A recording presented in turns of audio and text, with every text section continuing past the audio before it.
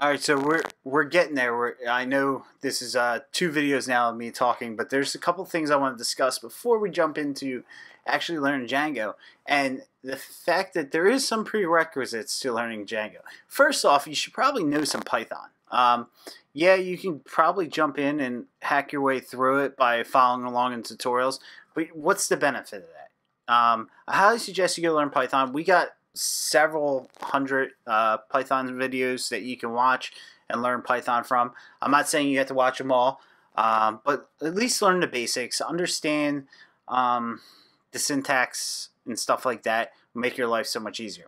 Uh, the next thing you should probably uh, look into is HTML, CSS, and JavaScript. If you don't understand HTML and CSS uh, when it comes to designing the website, uh, following along is going to be a little difficult for you as well. I'm not a, a, website designer by no means. I hate it. I won't do it. I always um, work with someone else to design the websites.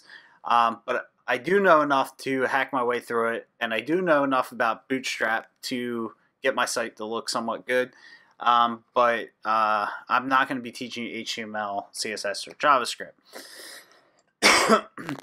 Uh, and one last warning uh, I use a Mac for all my tutorials, and I always have people coming from Windows saying, Hey, uh, how do I do this? How do I do that? Uh, I'm not sure. I do not own a Windows machine.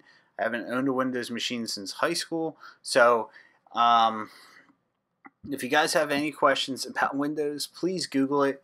Uh, or if you ask if you do find, I do ask you this though, if you do find a solution that you guys may run into an issue um, with working with Windows, share it uh, for other users at the bottom of our videos and our comments. That would be really helpful.